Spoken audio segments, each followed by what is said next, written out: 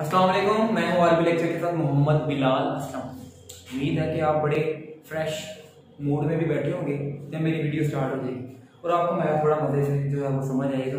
तो करें शुरू। देखो यार, शुरू करने से पहले मूड फ्रेश होना चाहिए। मुझे आप फ्रेश चाहिए। फ्रेश होंगे तो फ्रेश होगा। ठीक है? तो करें शुरू। चलिए। हमने क्या करना है? ये ये एक्चुअली फ़र्स्ट ईयर की वीडियो आपको पता है कि हमने फ़र्स्ट ईयर के एक से स्टार्ट कर दी साथ लास्ट टाइम हमने प्रॉपर्टीज़ का ज़िक्र किया था, अगर आपको याद हो। ठीक है? प्रॉपर्टीज़ में क्या हमने डिस्कस किया था? रियल नंबर की प्रॉपर्टीज़ पढ़ी थी दो लिहाज से। एक हमने पढ़ी थी एडिशन के लिहाज से। सेकेंड हमने पढ़ी मल्टीप्लीकेशन के लिहाज से। तो अब हमने क्या बताना है कि जो भी सेट है हमारे पास, जो दिया हुआ है, उसको हमने चेक करना है। पहले एडिशन के लिहाज से वो क्लोयर प्रॉपर्टी होल्ड करता है कि नहीं? क्या क्वेश्चन है? Which of the following set have closure property with respect to addition and multiplication दो लिहाज से चेक करना है हमने। पहले तो हम चेक करेंगे क्या ये सेट एडिशन के लिहाज से क्लोयर प्रॉपर्टी होल्ड करता है। क्लोयर प्रॉपर्टी का आपको एक दफ़ा छोटा सा इंट्रो देता चलो, दोबारा से। डिवाइस करवाता चलो। क्लोयर प्रॉपर्टी क्या थी? क्लोयर प्रॉपर्टी ये थी कि आपके पास कोई भी सेट हो let for all A B belongs to real numbers आपने दो एलिमेंट ले लिए, कहाँ से? रियल नंबर में से। आप इन दोनों को जमा करें ए प्लस बी और वो भी कहाँ से आए? रियल नंबर में से। यानी को सेट लिया आपने? उस सेट के अंदर ऑपरेशन लगाया आपने। और अगर आंसर उसके अंदर से ही आया है तो इसका मतलब वो क्लोज है। उसका मतलब क्या हो गया? वो क्लोज है। तो ये तो हो गया एडिशन के लिहाज से। अगर मल्टीप्लीकेशन के लिहाज से देखें तो मल्टीप्लीकेशन के लिहाज से for all A B belongs to real numbers A multiply by B belongs to real number कोई दो रियल नंबर ले। मल्टीप्लाई करें। आपको रियल नंबर में से आंसर मिलेगा। तो ये क्लोयर की डेफिनेशन थी। अब यहाँ पर हमने ज़ीरो को चेक करना। रियल नंबर का पूरा सेट नहीं है। जस्ट ज़ीरो तो हम पहले चेक करते हैं इसको एडिशन के लिहाज से। बेस्ट वे अगर आपके पास ज़्यादा एलिमेंट है तो बेस्ट वे होता है आप टेबल बना लें। लेकिन क्योंकि ये तो ज़ीरो एक सिंगल एलिमेंट है तो आप इसको चेक कर सकते हो ज़ीरो ज़ीरो को ज़ीरो में ही जमा करें अगर। क्योंकि एलिमेंट है ना, उस सेट के एलिमेंट को उस सेट में ही जमा करना आपने। तो ज़ीरो को ज़ीरो में जमा करें तो ज़ीरो आ रहा है। ज़ीरो कौन से बिलोंग कर रहा है? इसी सेट से बिलोंग कर रहा है। तो आपने देखा कि हमने इस सेट में से एक एलिमेंट पकड़ा, उसको उसी में जमा किया और आंसर भी उसी में से आ रहा है। तो इसका मतलब है कि ये जो आपके पास सेट है, ये क्लोज्ड है विद रिस्पेक्ट टू एडिशन तो ये सेट क्या है? Is closed with respect to addition next हमने इसको चेक करना मल्टीप्लीकेशन के लिहाज से। तो अगर मल्टीप्लीकेशन के लिहाज से देखें तो सेम केस मल्टीप्लीकेशन के लिहाज से भी होल्ड करेगा। क्योंकि ज़ीरो है ज़ीरो को आप मल्टीप्लाई करें ज़ीरो के साथ उसी सेट में से आपने एलिमेंट लेंगे ना?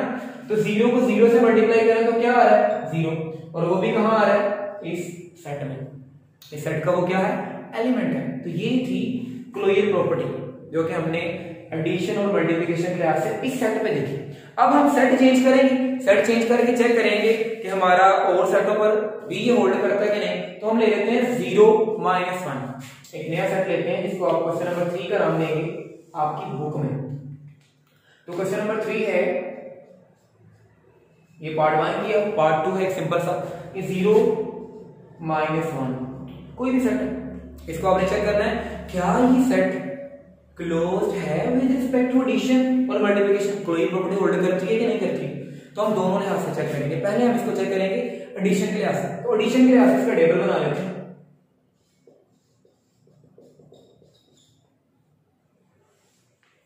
टेबल कैसे बनाते हैं? इसे कहते हैं कैरिज टेबल जस्ट आपने क्या करना है? एडिशन के लिहाज से यहाँ आपने पुट किया प्लस यहाँ आपने क्या पुट कर दिया? प्लस इन एलिमेंट्स को आप इस ऑर्डर में लिखोगे यहाँ इधर भी इन एलिमेंट्स को इस ऑर्डर में।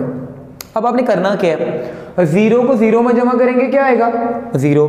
ज़ीरो को माइनस वन में ऐड किया माइनस वन माइनस वन को ज़ीरो में ऐड किया माइनस वन माइनस वन को माइनस वन में ऐड किया तो डेट इज़ माइनस टू गड़बड़। तो ये तो आ ही नहीं रहा उसमें।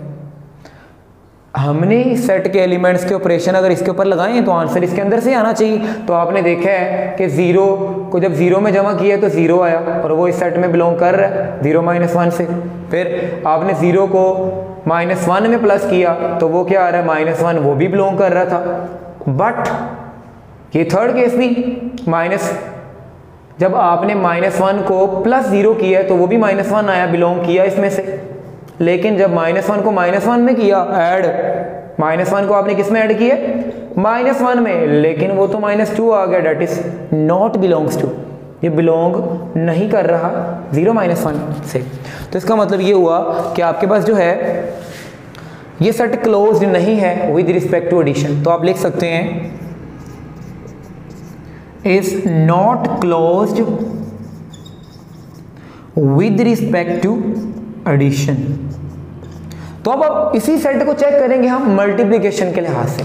तो चेक कर लेते हैं। मल्टीप्लीकेशन के लिहाज से इसको चेक करते हैं आप कि मल्टीप्लीकेशन के लिहाज से ये प्रॉपर्टी होल्ड करता है कि नहीं करता? विद रिस्पेक्ट टू मल्टीप्लीकेशन अब अगेन हम टेबल ही बनाएँगे।